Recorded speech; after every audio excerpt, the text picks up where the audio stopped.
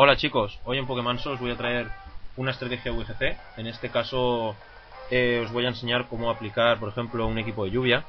Normalmente a mí me gusta eh, crearme en una, en una libreta decir, pues quiero un equipo de VGC, ¿no? Pues digo, pues mi equipo de VGC quiero que sea, pues la mayoría de él adaptado a, a un equipo de lluvia.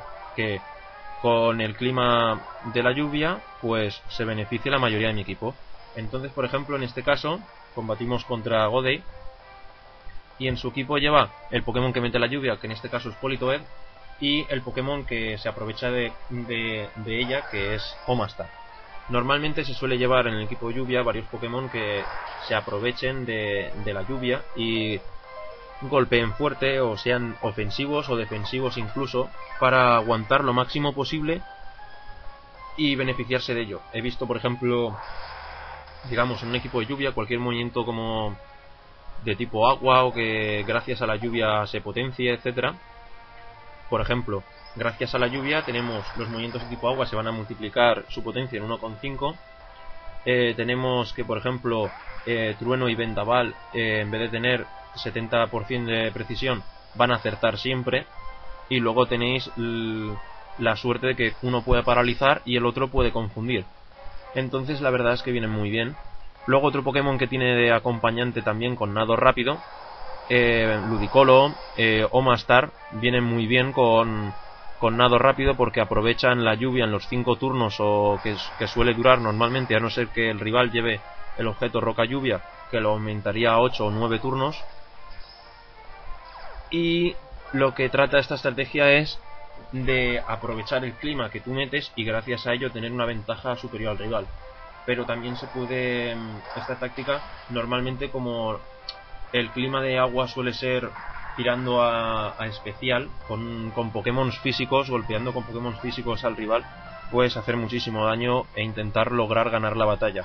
Si así no lo consigues, porque te, te uspedea por nado rápido cualquier cosa, pues metiendo otro clima puedes fastidiar perfectamente la estrategia por ejemplo, metiendo, metiendo sequía, directamente destrozarías la estrategia.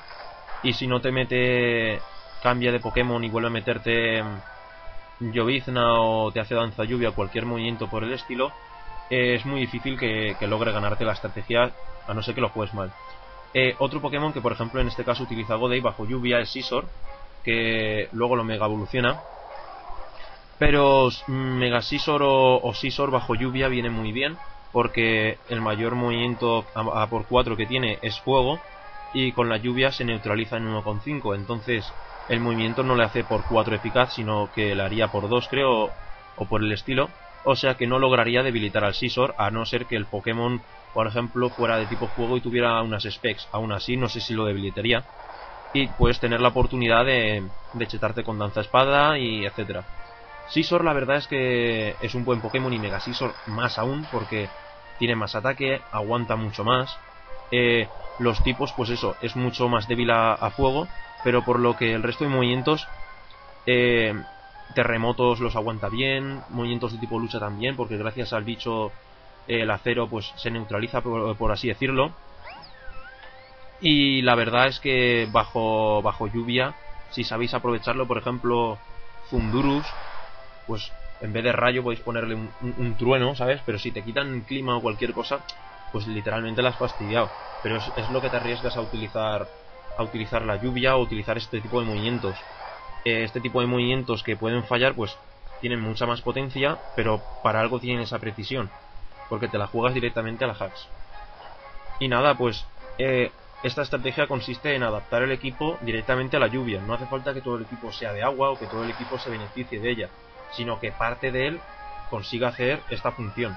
Una vez lo consigas hacer esta función, pues ya puedes tirar para adelante e intentar eh, ganar el combate o hacer lo máximo posible. Depende de cada jugador y cómo juegue cada uno.